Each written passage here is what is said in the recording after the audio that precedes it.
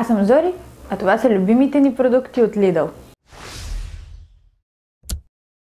Бих искала да уточня, че никоя част от това видео не е спонсорирана. Това са нещата, които от години купуваме в Lidl и особено ако сте нови в пазаруването в тази верига, мисля, че биха ви били полезни. Защото когато аз започнах да пазарувам, ходех само по седмиците, които са седмица на, седмица на, за да си взема конкретен продукт и изобщо не можех да се ориентирам в техните марки, млечни, местни продукти, каквото и да е, защото нямаше от тези, с които аз съм свикнала. С течение на времето реших да експериментирам с някои неща, някои успешни, някои не толкова успешни, но това са артикулите, които винаги купуваме от Lidl и някои купуваме само от Lidl, защото са техни марки. Ще започна нещо, което не е в постоянния им асортимент, а трябва да следите, когато им дойде седмицата. Идваме, може би, 2, 3, 4 пъти годишно през няколко месеца. Това са бебешките дрежки Лупилу. Когато бях бременна с Настя, си поръчавах дрехи от Англия, защото качеството им беше такова, че устояваше на моята сушилня.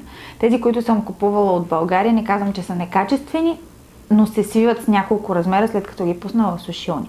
А с малко дете, зимно бебе, пране и простиране е мисия невъзможна. Затова тествах с няколко комплектчета бебешките дрежки Лупилу и мога да ви кажа, че издържат на почти всичко. Меки са, направени от 100% памук, не се свиват и запазват формата си през целия си живот, който свършва примерно заради петна или заради умаляване. Също така сме доволни от спалните им комплекти. Признавам си, че съм давала Гена разбрана скоро неприлично много пари за спални комплекти, горен-долен чаршав и кълъвки. Комплектите на Lidl са без долен чаршав. Долният чаршав, който е като кълъв с ластик, може да си купите отделно. Също издържа на сушилния, много е мек, и е единственото нещо, което Настя не сваля от леглото в нейните игри, а горните комплекти всеки път са с различни десени.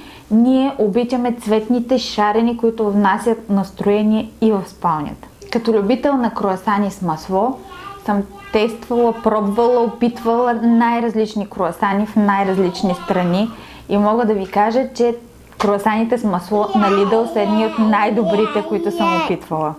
Прясно изпечените им хлебчета, хлябове, чабати, хляб с семена.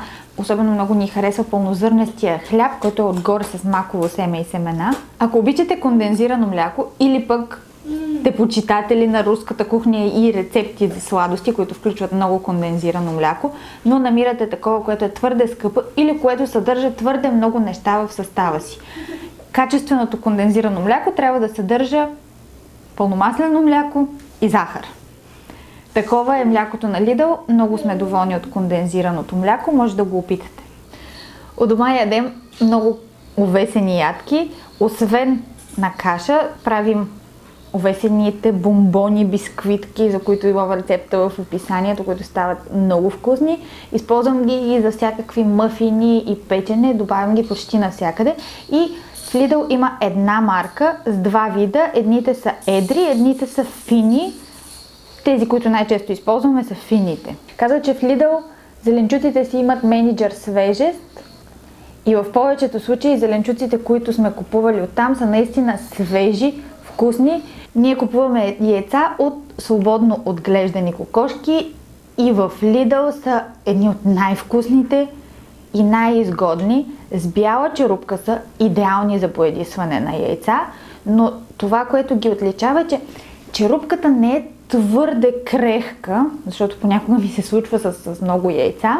Също така жълтъкът е достатъчно наситен, т.е. хранили са ги с разнообразна храна. Не знам дали знаете, но цветът на жълтъка зависи от храната. Ако е хранена повече с пшеница, ще бъдат по-бледи, ако са хранени повече с царевица, ще бъдат по-наситено оранжеви. Вкусът ни харесва това, че можем да очакваме на едно и също качество във всяка партида и цената за 6 броя е около 2,2,30-40. Ако обичате сирене Филаделфия, сиренето Голдеса в правоъгълни опаковки много напомня на него. често купуваме такова, има изчистен, гладък и фин вкус. Харесва ни кашкавал блудино, блуедино, както се произнася, който е по БДС зрял 45 дена. Най-често купуваме такъв. Попадали сме на една-две партиди, които са били или кисели или меки, но като цяло поддържат добро ниво на качеството. У дома рядко хапваме колбаси, но много обичаме плъшката мортадела, която купуваме от Lidl. Ако сте следили Lidl вдъхновенията ми през април, това беше първата рецепта. Круасани с масло, плъшка мортадела, кашкавал, зелена салата, домат и може да добавите всякакви съставки по ваша фантазия. Но много обичаме тази мортадела. Обичаме също така и гушанската боза, която е с захар от по-големите опаковки. Преди имаше и в по-малки. За съжаление, никога не можем да изпием голямата опаковка, но тя е произведена само от пшенично брашно, захар и вода. Без ета, без добавки, без подсладители и други всякакви екстри. Нещо, което винаги купуваме от Lidl са замразените пици с моцарела. Винаги имаме по няколко в фризера за спешни случаи, в които в рамките на минути трябва да измислиш и да сготвиш нещо, например след като съм се върнала от работа. Трика за тези пици е, така както и аз ги приготвям, за да не станат твърде хрупкави.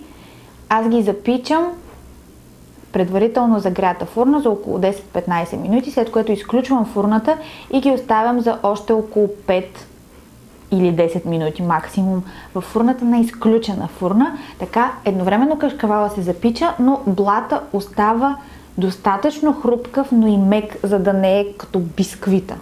От замразените продукти ни харесват картофите по-селски, уеджис или както има правилното име. Тях отново приготвям на фурна без абсолютно никаква мазнина, изсипвам ги в тавата и запичам. Смятам, че са по-здравословен вариант на тези, които са пържени в фритюрник. Разбира се, вие ако предпочитате, може да си ги изпечете и в фритюрник. И са любими отново на цялото семейство. Всеки път поддържат едно и също качество. Като пазарях в други големи вериги супермаркети, винаги ми беше трудно да намеря точно определена марка, например замразен грах, замразени моркови и ако харесам някоя, следващия път я няма и я заменя и няма този път не е толкова добра. Затова реших бавно да тествам замразените зеленчуци в Lidl и това са може би единствените, които мога да взема с затворени очи. Харесваме замразения грах, зеленият боб, спанакът, който е на порции. Има такъв, мисля, че и във френската седмица и той е много вкусен. Харесваме царевицата. И един от триковете ми за светкавично бърза супа е спринг суп, замразените зеленчуци, които са в, в комплект, т.е. тя е готова супа, която изсипвам в студена или вряща вода и в зависимост от това колко време и какви други продукти имам у дома, или добавям картоф, доматен сос или каквото реша, добавям и фиде и в рамките на минути имаме гореща, вкусна, домашно приготвена супа. Когато говоря за замразените зеленчуци и за замразената супа, тя е направена само от зеленчуци. Няма добавки, няма натриев глутаминат или сол или каквото и да е друго, което се сетите. Това са просто замразени зеленчуци. В един от влоговете ме видяхте, много ми хареса ябълковия штрудел от немската или алпийска седмица. Много е вкусен. Други неща, които харесваме от Lidl са техните макарони и спагети макарони изделия, тези, които са в синята опаковка. Произведени са от твърда пшеница и не се разваряват, както тези произведени от по-низко качествена пшеница. Харесвам доматеното им пюре в бутилки, готовите сосове за спагети и макарони. Аз лично съм огромен почитател на препаратите им за пране формил концентрат. Така ли, мамо? И ти ли? И ти ли, мамо? Открих ги случайно преди няколко години, когато нямаше препарата, който търсех. Пробвах ги на шега и от тогава това е препарата, който каквото и да тествам, отново се връщам към него, защото изпира достатъчно добре. Економичен е, литър или литър и половина опаковка е достатъчна за 28 нормално замърсени пранета при нормална твърдост на водата. В нашия случай стигат за по-малко, за може би 16-18 пранета, тъй като във Варна водата е много твърда и се налага да слагам повече препарат. Имат прекрасен аромат, който се задържа дори не ви е необходим умекотител, особено ако имате сушилня, излизат ухаещи дрехи. Когато Настя беше бебе, тествахме всякакви марки памперси. Попаднах на информация в един форум за майки, където препоръчваха пелените Тужур Драй, които са много тънките с гел. Тествахме ги и мога да кажа, че ако не са най-добрите, то са в топ 3 на пелените, които най-много харесваме. Също така сме доволни от мокрите им кърпички, отново на Тужур. Аз купувам тези, които са абсолютно без никакъв аромат. Имат малко странна миризма, но не е неприятна. Нещо малко по-различно, може би малко по-странно.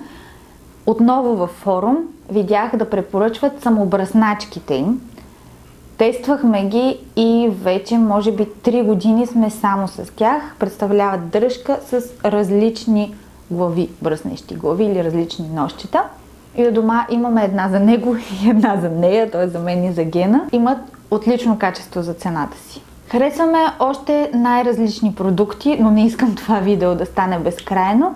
Може да изпробвате някои от тези неща или ако сте ги изпробвали, да ми споделите в коментарите по-долу кои ви харесват и кои не. И ако съм пропуснала нещо, да ми кажете вие пък кои неща от Lidl харесвате. Благодаря ви много, че гледахте това видео. Надявам се в него да е имало полезна информация, която да ви улесни в следващото пазаруване. Благодаря ви много, че бяхме заедно. Ще се видим отново в следващото видео, а вие се усмихвайте повече и бъдете здрави. До скоро!